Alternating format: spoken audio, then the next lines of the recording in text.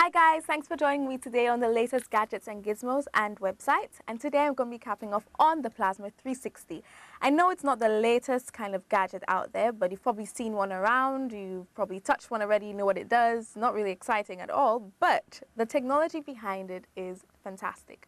And um, what I read on, well, what I understood was that what is between this glass globe and the other one, the other bulb there, is gas not that kind of gas, but different kind of gases that um, make a color and it's I just I think it's so cool. I'm sorry, I'm getting too into the touching of this glass globe.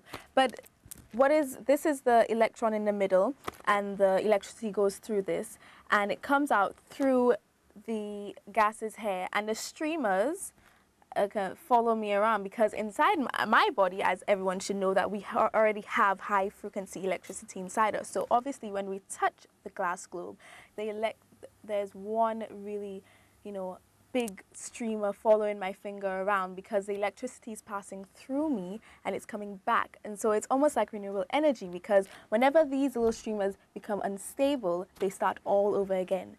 So it's a really cool thing go on to um go on to Google and type in how how does the plasma 360 work? How does the plasma ball work? And you're gonna have so many tutorials, so many things telling you about what is really a little more you know in detail about it. But that's just really what is inside. It's just pretty gas and electricity and what happens if when it when their two combinations come together. So that's kind of what happens.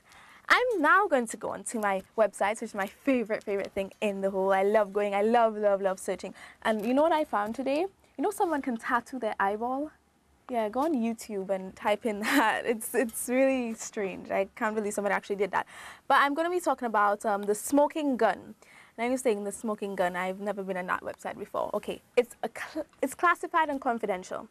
And what is more interesting than that? Have you ever seen one of your favorite stars on a mugshot? Hmm, why don't you go on the smoking gun? It has every single thing, even documents, government and court documents, real ones at that. I don't know how these guys got it, but it is on this website. There's all these mugshots of these favorite you know, all these, my mom's laughing at me, why is she laughing? all these favorite, you know, um, celebrities like Lindsay Lohan, uh, let me see, Ne-Yo as well. And these are so funny because then you say, oh my gosh, is that how they look like in real life with no makeup? God, that's sad. Even Carmen Electra, wow. Oh, she looks horrible. Another website I absolutely love is Internet Database, um, Movie Database, and it has every single movie not the actual movie, but it gives you um, in detail the celebrities, who's directing it, um, all kinds of independent films as well as Hollywood films. And I am an independent film person. I like the kind of alternative, you know, narrative um, stories rather than actual Hollywood style. But I mean, this website, if you want to have a little, if you want to go on it, it gives you the plot. It has some spoilers as well, but um, if you want to know about a movie, then you can actually go on IMBD and it's really good. You can actually register and type in your own um, opinions on certain films if you're a film guru. If You can do all sorts of things on it, but it's really detailed. It really is a database of movies. So those are my two websites. I have a whole other list of websites I want to share with you, but I don't have time, unfortunately. But I do want you to join me again next time on the latest gadgets and gizmos and websites.